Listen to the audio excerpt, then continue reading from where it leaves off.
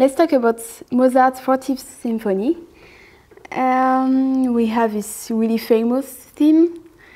It's important to know that when Mozart wrote this symphony, he was um, in a really um, uh, sad mood because he just uh, lost his little girl, um, who was uh, like one year old, actually. So this is one of the most tragical work uh, in Mozart, Mozart's uh, masterpiece.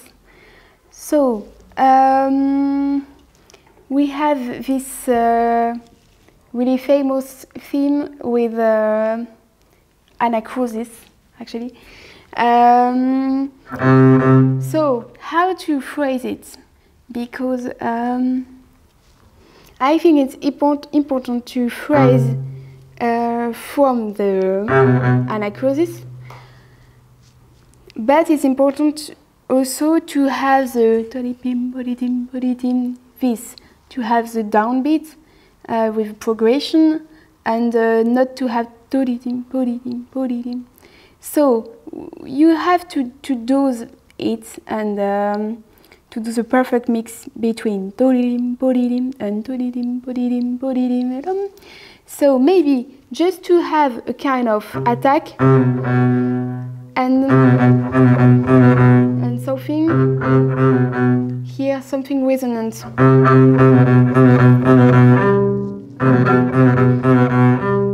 But don't forget that when we have the, the theme it's forte and we are with the trombone who plays uh, really loud. And um, we have less place to do something really uh, uh, phrasing uh, in all details.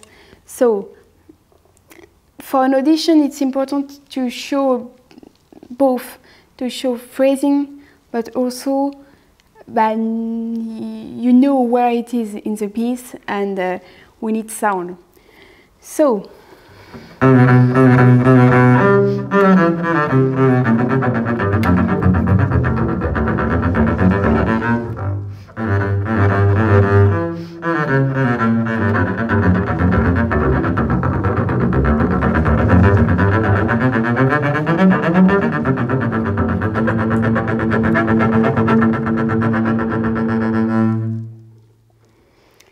we have this thing um, which is important to have a good fingerings who works well and uh, maybe without too many changes of bow of uh, strings. Like this there, there is a lot of options again but try to find something with uh, less changes of string as possible so my suggestion is uh,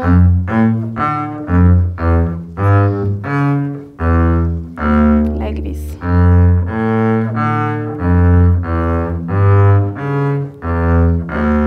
Because when you play faster, is it sounds easily. And it's important to have so this kind of spiccato.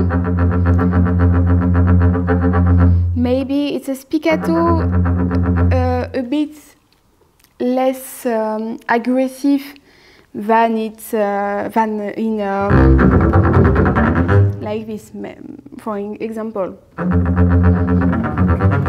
it's a bit lighter so just to play it really clearly we need to have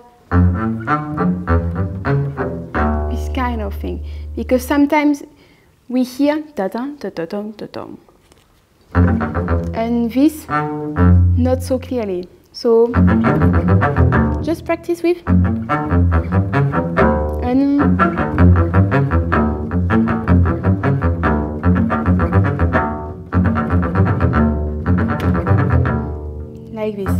When you play it for real, put a really, really, really little accent on this here, on this one, and on this this one.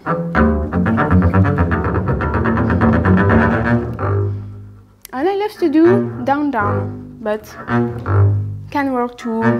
But I think this uh, will be a, a bit uh, more calm in the bow. It's uh, the same here.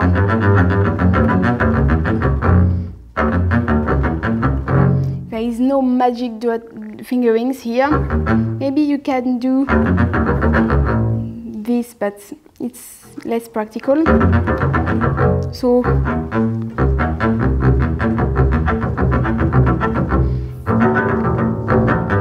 in the bow, so practice it with open string.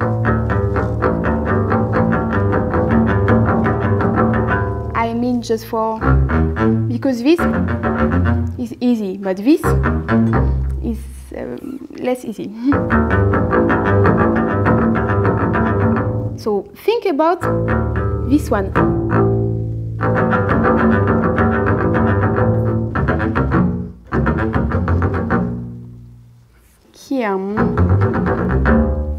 You can phrase it uh, by groups of quavers, but with a general direction, uh, like uh,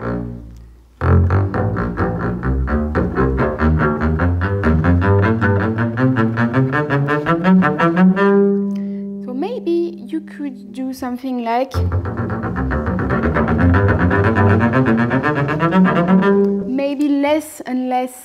by groups, but you can play it more and more by a general direction uh, in the phrase. So by group, by group, and more and more by general phrasing.